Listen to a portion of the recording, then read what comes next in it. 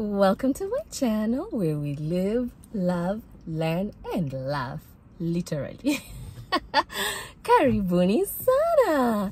Oh my god, guys. As you can see, oh wait, today is such a it's such a nice day because it's it's warm outside. Like the weather is nice. Like this past weekend, whew, was just something else. it was raining, it was cloudy, as in especially like yesterday, the whole day on Sunday. Because today, hold on, when is today? Oh, today is Monday, May 1st, 2023, and it's currently 4 or 9 p.m. And um, I am currently in the state of New Hampshire. I have traveled out of state. To Msinitafute watu wa Massachusetts.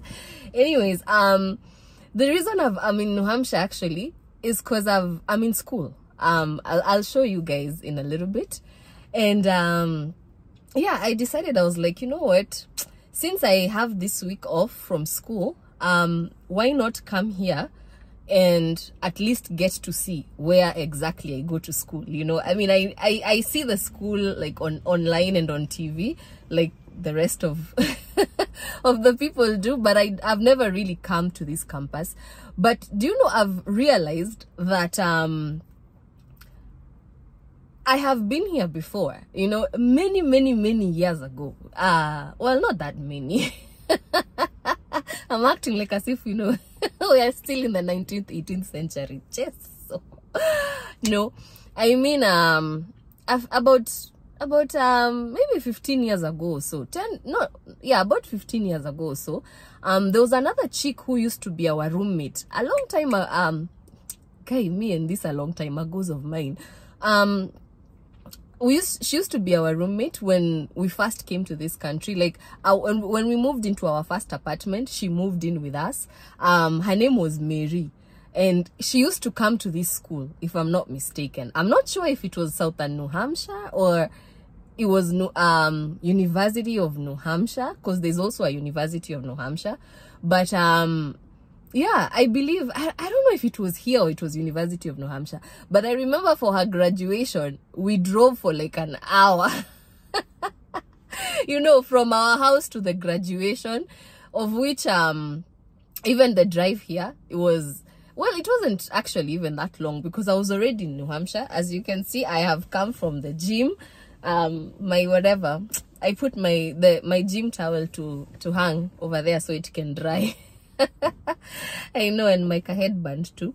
So anyways um i from the gym i decided instead of um going back home because i have some work that i'm working on so i figured instead of you know since i didn't even carry my laptop anyways so if i have to go back home i'll have to go home get the laptop then go to, you know go to the library and you know finish working on on my stuff so i figured you know what since i'm in new hampshire i might as well just come to school and uh finish what i'm doing from here because i mean i'm i'm, I'm a student so i can be able to access the um, the computers so um yeah guys I decided why not share this moment with you, you know?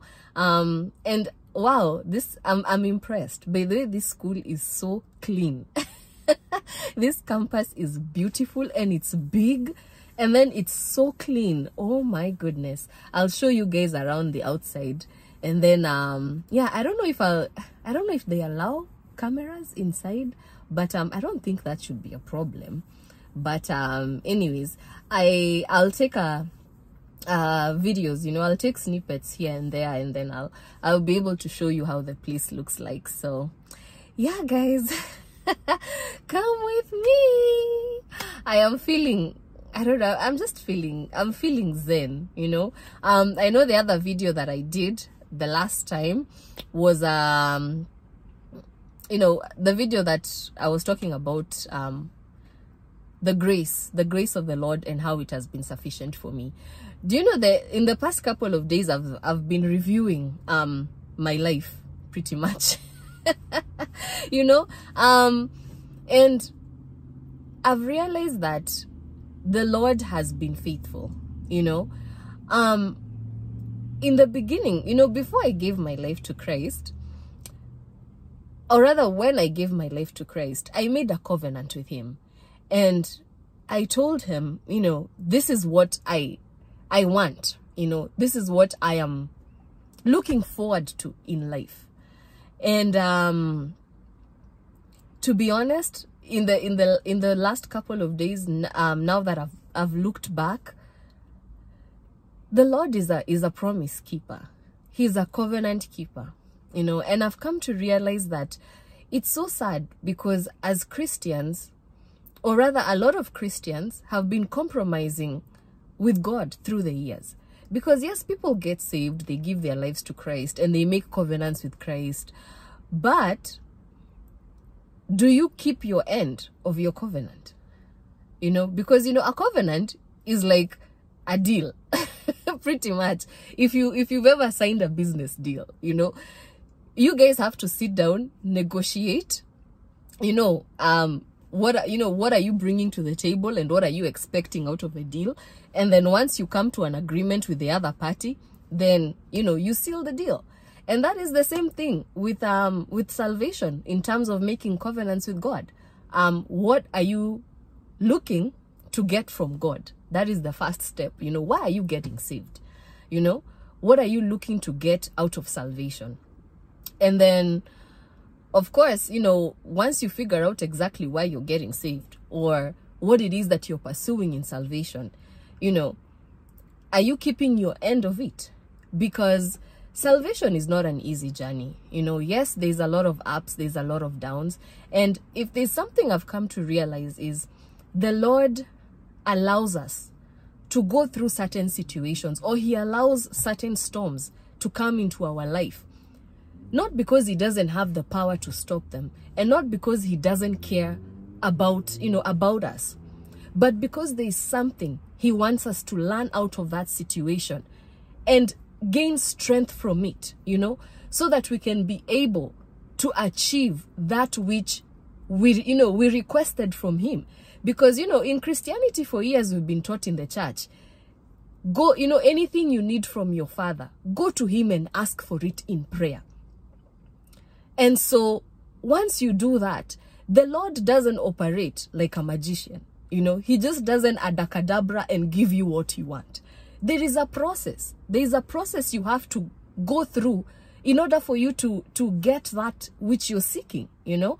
And sometimes the process can be tough and it can be long and it can be hard. But I guarantee you the end of it is worth it. Because whatever it is that you prayed to God for, trust you me, God answers prayers. But you just, you have to keep your end of it too. You have to believe in the Lord. You know, it's not that when times get hard and, you know, situations get thick and you cannot explain what is happening even to you or all around you. You know, I've come to realize that a lot of Christians in the church for, for years now, they have been running to other altars. You know, it's like you celebrate God when God is making things work for you the way you want. But the minute he, you know, he, he takes you through that process so that you can also be able to build the strength for that for that which you're looking for so you can be able to build your you know to build the muscles to hold that you know that position or that next level that you're looking for you know? People tend to run away and they go seeking help from other altars and it's very unfortunate because now out of that the world is now being controlled by a lot of altars you know? And these altars are also in the church you know in fact in today's society there is i as in I, okay i don't want to say there's no church but i've come to realize that a lot of churches have their own god you know?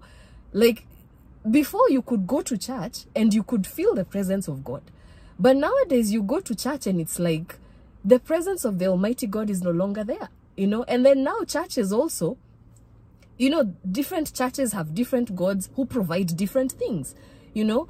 And out of it all, I have come to, I have actually come to love my Lord even more. And I have come to celebrate my salvation even more. As in, for me, I cannot say the Lord has not blessed me. I cannot say I've not seen the hand of the Lord. I cannot say he has not walked with me. God has blessed me. And if there's something I've come to appreciate about the Almighty God, is God does not force you to do what you do not want to do. You can imagine, He's the Almighty God. He created you. He created all those desires that you have, that you're wishing to, you know, to to to attain and or excuse me, or even keep. He created all of it. But he gave you, he gave us, he gave me and you autonomy, the freedom of choice. As in, we can wake up and decide whether we want to worship him or not, you know? And in other altars, it's not like that. Demonic altars, they don't operate like that. You bow down to them. Their word is final. You cannot tell a demonic um, principality no. They don't understand no. What do you mean no? you are in their altar. You took yourself to their altar and you're saying no? I mean, it's it's unfortunate. And out of that, you know, a lot of people are dying nowadays. Some very interesting, you know, some very crazy, crazy kind of deaths, you know? And it, it, it saddens me by the way. That's the reason why in fact i'm just saying all this right now. This is very random because this video i intended to show you my school you know? In fact the entire video was not even supposed to be more than 10 minutes. And i've already talked for 11 and a half. Yes but um yeah guys you know if there's something i've come to appreciate as i've been looking back in the last couple of days and um that is why i've decided i am going to start season four. I was not ready yet to start season four um a couple like you know last week when i when i did the last video at that point i wasn't really ready to start season four because honestly i was going through a mental challenge and um not a mental challenge as in losing my marbles but I, you know, I had become very forgetful and there was just this storm that had come over my life. And for a minute, it seemed as though, you know, I was beginning to lose, to lose sight of, um, of my vision. But that's why, again, I thank God because he's a covenant keeper and he's also a promise keeper. Because as I began looking back at my life, from the time I gave my life to Christ, I gave my life to Christ with a purpose. And I gave my life to Christ purposefully, seeking to know what salvation is and also seeking to know God and having a personal relationship with Him where I can honestly go before God and tell God, this is what I want in life and I need you to help me get it. You know, show me how I can get it because it is only through God that whatever you get in this life, whatever you acquire, you, you will keep it. And even if you lose it, somehow it will not okay not somehow but it will find its way back to you. 10 times fold you know? That's what his word says. And yes indeed he is a promise keeper. He sticks to his word. And i'm telling you i swear everything that i went before god and i asked of him from you know that day from that moment actually when i went before him in my house and i gave my life to him. He has ametimiza. He gave me everything i asked for. And yes the journey was not easy.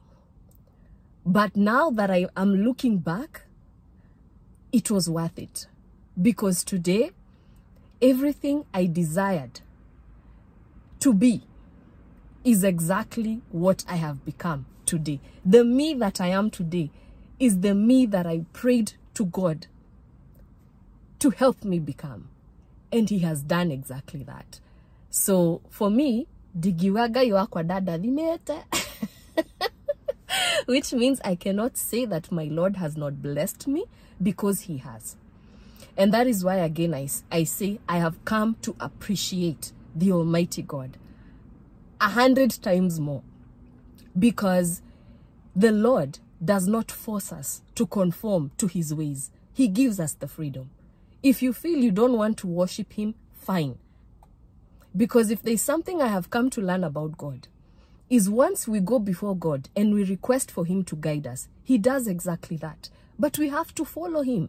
We have to stick to the to the um, to the to the plan or we have to stick to his way. Of doing things. Yes, sometimes it does not make sense, you know, but I'm te- I'm telling you, trust me, in the end, it is worth it. It is very, very worth it, you know, because he gives us the freedom to decide, you know.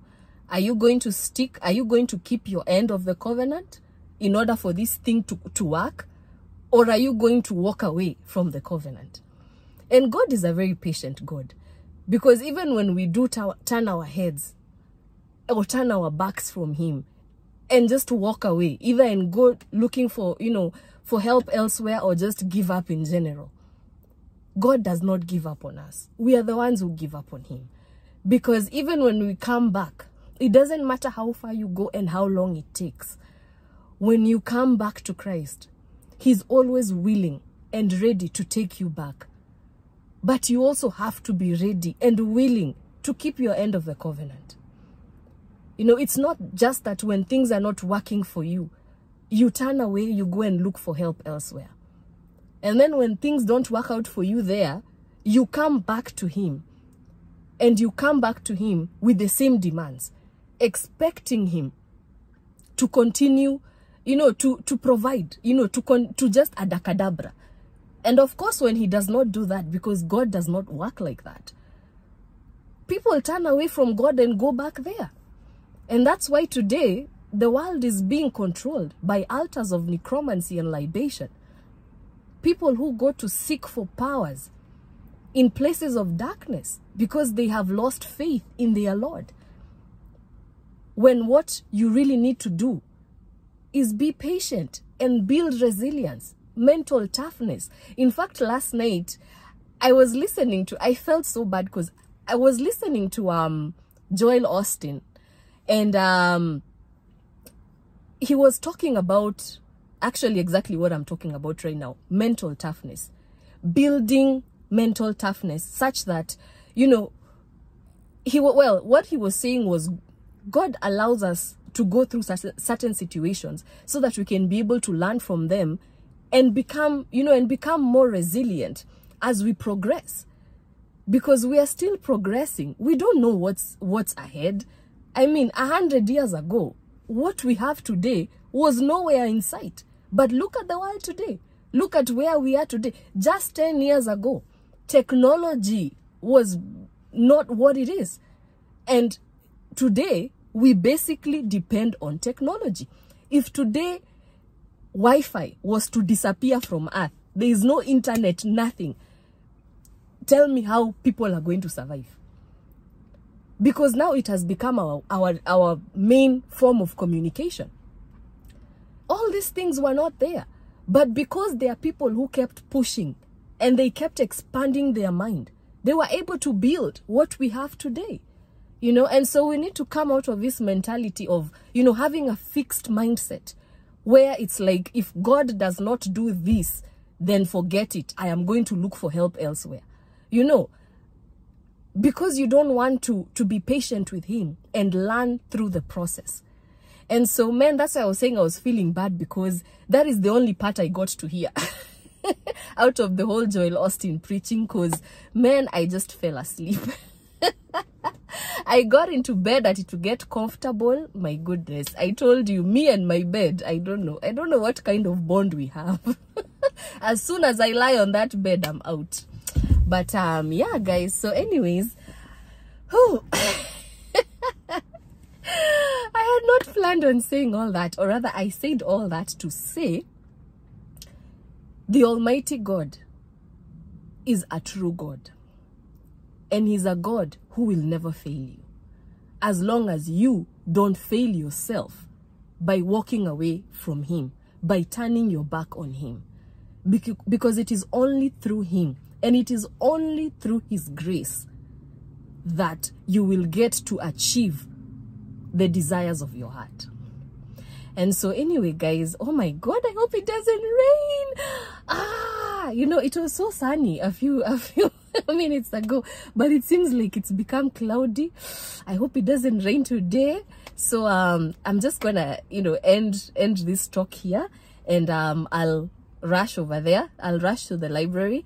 But um, as I'm on my way there, I'm going to show you um, the campus so you can get to see a little bit of it. I don't think I'll be able to cover much of it today because this place is huge. It's a huge campus and um, I think I will need to come here on a day where it's the weather is nice. There's no rain in, in sight because right now I can't be able to walk around that much when um it seems as though it's about to come down any minute. So anyway guys i just wanted to let you know that i am back for season four and um this is the first video of um season four. So um i hope you do enjoy and i hope you do like what you see and i also hope you have learned from from um what i've shared with you. And continue holding on to your faith and continue believing that God does not, God will not let you go. You know, there's this, um, there's this famous Kikuyu, Kikuyu preacher in Kenya who is always saying, oh, God will never let Kenya go. For God will never let Kenya go. Which is very true. God, no, and not just Kenya. God will not let his people go. But it is very unfortunate that it is his people who let him go. It is his people who let him down. Hey, thank you, Lord. Mwah, mwah, mwah, mwah, for being that rock and to my feet. Anyway, guys, so welcome to season four. And um, I do hope that this will be a season of blessings. I do hope that this will be a season where um, the faithfulness, the guy faithfulness, the faithfulness of God is going to manifest itself. So anyway, guys, um, without further ado, let's see what Southern New Hampshire has to offer, or let's see how um the campus looks like a little bit. All right, mwah, mwah, mwah. come with me.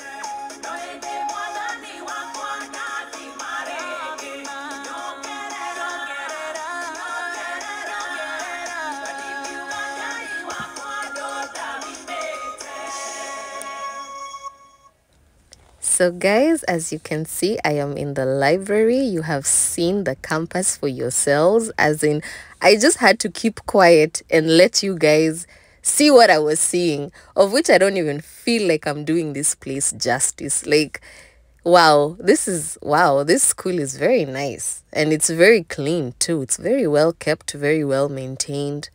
And wow, so this is the Wallach um, Learning Center. That is where you come if you need help with your projects or your assignments. And here you can have some water and you can also refill. And then they just have seats around here. You can lounge there, use your computer or just chat with your friends and read some books or just sit alone like that guy over there and do your own business. then of course there's books on this side. You can pick books on the left and then also you can sit on the right and um, read your books do your assignments and it has a very good view outside. And they also have study rooms. Wow study abroad at snhu oh yeah through their online program which is what i'm doing you can be able to um, join the school from even outside america and uh, still be able to get your degree. So it's a pretty good um a pretty good school. Look at that view. Oh my god guys. As in this view for me is just everything. Especially the way i love nature. I love being outside. Wow and um, yeah so this is a study room. That's the whiteboard over there. They even have a trash can at the door.